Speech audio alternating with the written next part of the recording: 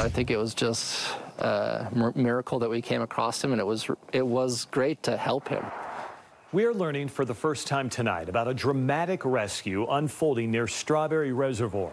Now, imagine finding anything in conditions like these blowing snow, high winds, basically whiteout conditions. And yet, somehow, Salt Lake County man spotted a trucker well off the road in desperate need of help.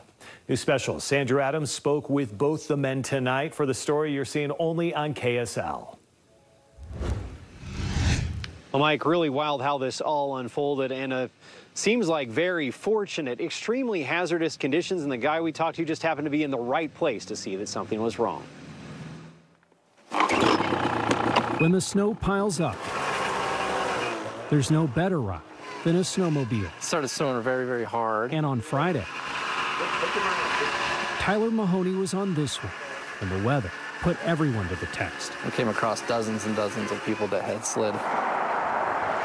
US 40 was a nightmare near Strawberry Reservoir. I've been in bad driving conditions before, but nothing like this. After pulling off the road in whiteout conditions, he saw a gully. And down in that gully was a huge tanker tipped over on its side, and that's how we came across him. Mahoney says the truck driver was in bad shape and soaked in crude oil. Hypothermic. He was past the point of shivering, and he was to the point where he said he just wanted to go to sleep.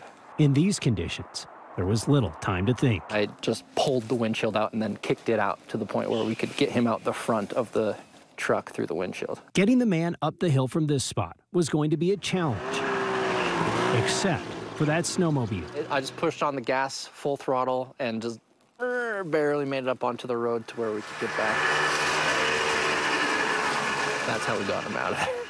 Mahoney drove the man back to a warm truck until first responders arrived and never thought he'd see the trucker again. How are you, Tyler? Good. And then came the video call. Without you, I wouldn't have made it. Kent Ashton told Mahoney he was certain he saved his life. Yeah. I would have probably frozen that truck. Without promptings and getting me going, I would have gave up. I was just glad that we found you.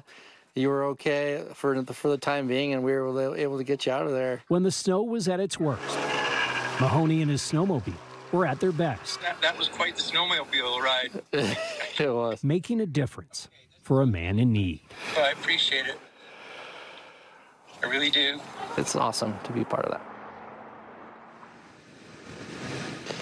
Well, the trucker told us he was going very slow, still found himself in that situation. And by the way, the ride, once he got to first responders, wasn't easy at all. Apparently, one ambulance got stuck, and it took two ambulances in a couple hours just to get back to Heber.